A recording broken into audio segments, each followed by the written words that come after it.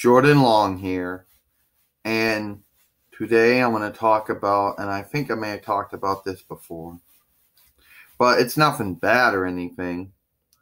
It's about, you know, people will ask me this one question Oh, when you going to take a break from YouTube?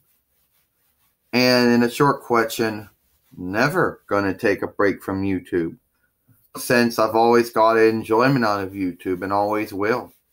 Regardless of everything that's happened, regardless of, you know, the bullying, regardless of the channels that I've opened and I've closed for sundrous reasons, and regardless of the of the fact that I might not get the same views and subscribers that somebody else would get for making the exact same video, moving shows. I enjoy being on YouTube and I'm never going to take a break. Someone always will ask me this. So, when are you going to take a break from YouTube, you know? Um, well, Grace, I'm never going to take a break from YouTube.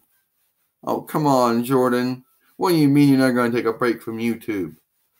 I mean, everybody takes breaks from YouTube. Partners, non partners. Well, people who make their own choice to take a break from YouTube, that's their own choice. Yeah, it actually is their own choice, you know.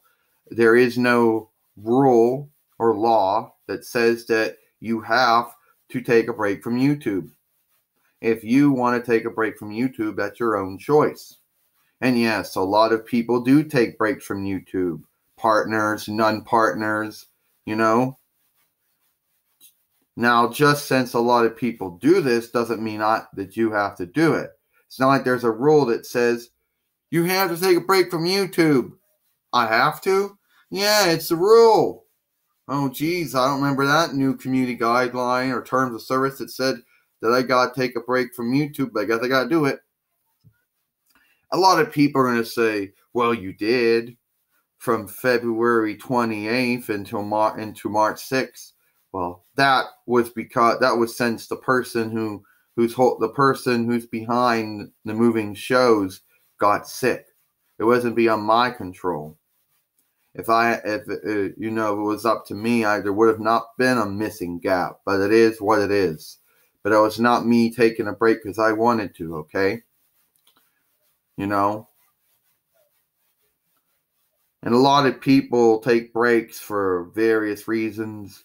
A lot of people have their reasons for taking breaks, but I'm staying in for the long run.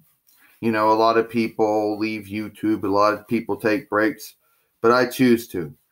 You know, I'm going to stick, I'm going to stay off YouTube for the long run, you know. People want to take breaks, that's fine. If the community channel's taking a long break since February, well, that's fine. You know, or since uh, January, whatever the case is, that's fine. Just because Natalie Tran chooses to take a break doesn't mean I have to take a break. You understand? Yeah, I guess I do. You know, so that's it. I'm not taking a break from YouTube. I'm not going to leave YouTube. I'm always going to be here. You know, I'm going to be on YouTube as long as I can possibly be on it. You know, so that's it. I'm Jordan Long, and I'll see you all later.